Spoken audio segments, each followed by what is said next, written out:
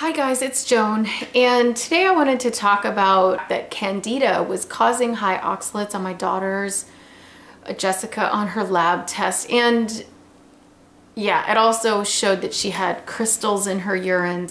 So this test showed, it's an organic acid test, so it's a urine organic acid test through Great Plains Laboratory, and on the lab test itself, it showed, it said that may also be due to high vitamin C intake. So vitamin C can cause high oxalates uh, or high vitamin C intake. However, kidney stone formation from oxalic acid was not correlated with vitamin C intake in a very large study.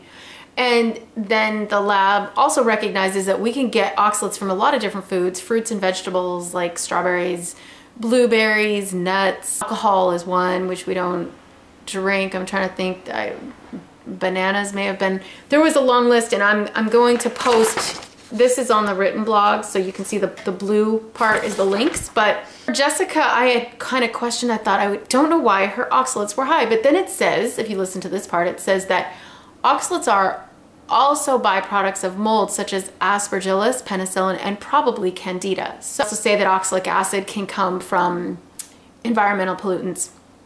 So Jessica had the possibility of high high heavy metals at the time of the test and also candida, very, very high markers for candida. We did some mild detoxing with glutathione. I did it through the breast milk and then I did give Jessica a little bit of amount of glutathione at the time.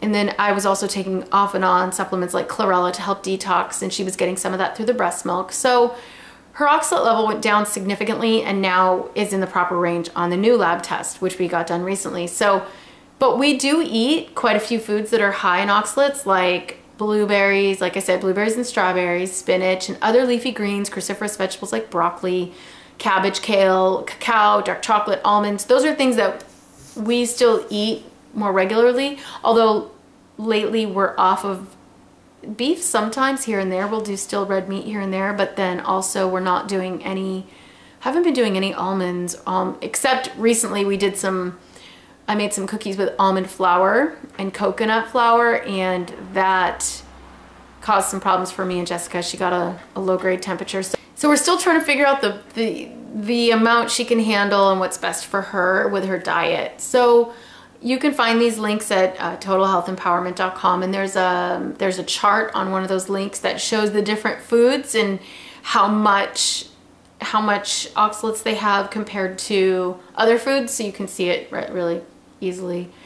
So then there's the leaky gut guys and they're on a website called scdlifestyle.com and there's other resources there. They talk about the same thing and they said, you know, ultimately there, there can be mitochondria damage, which Jessica, I don't know if it was damaged, but it was definitely not working well. She had markers for almost every single mitochondria dysfunction on that, on that urine test. So we know that, that it was seriously not working well. And then this lab, last lab test, she still had three markers, but nothing compared to like, I think 10 or 12 of them before. It says right there on the lab that Candida or, uh, or Aspergillus the toxins can cause high oxalates. So then at her recent lab, she was vitamin C deficient and her oxalates were low. So yeah, I mean, but even on her vitamin C level on the other test was still really low. So I don't, it's hard to say specifically whether, you know, can we know for sure, but I think that my suspicion is that it was the candida and possibly the mold exposure because we were highly exposed to mold about a year and a half ago now. So that, that lab test is a really good test to get. I mean, it just shows a snapshot. It's just a small picture in time. But if you're concerned at all, then you can get that lab test done. It's great. Great Plains Laboratory. You'd have to ask a functional medicine doctor to run it for you, but most of them are aware of that lab and they should be able to run it for you. So hopefully that's helpful and I'll talk to you later. Bye-bye.